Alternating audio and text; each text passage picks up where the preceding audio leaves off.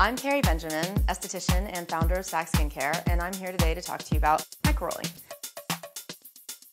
Microrolling has two main benefits. It stimulates collagen production and it creates microscopic funnels in your skin to allow for significant product penetration.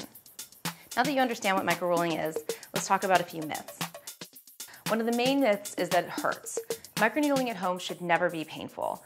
I always recommend using 0.2 millimeter needles for at-home use. It's safe, effective, easy to use, and you can never hurt yourself. Microneedling in a dermatology office is going to be using 0.5 millimeters or greater and should always be done under professional care. Another myth is that is for mature skin only. While it is great for mature skin to help plump and firm your skin, it's also fantastic for hyperpigmentation, acne scarring, and acne pitting, and fine lines and wrinkles. One thing to note about acne is that you want to make sure you never roll over any pustular or cystic acne as it can spread bacteria.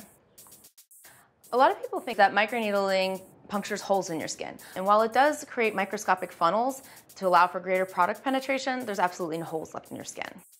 Microrolling has been one of the best things I've found to maintain the overall health of my skin. I typically roll three to five times a week with one of our active serums. You'll see results in a matter of a couple weeks and soon you'll be rolling every day. Thanks so much for watching and follow us at Stacked Skincare.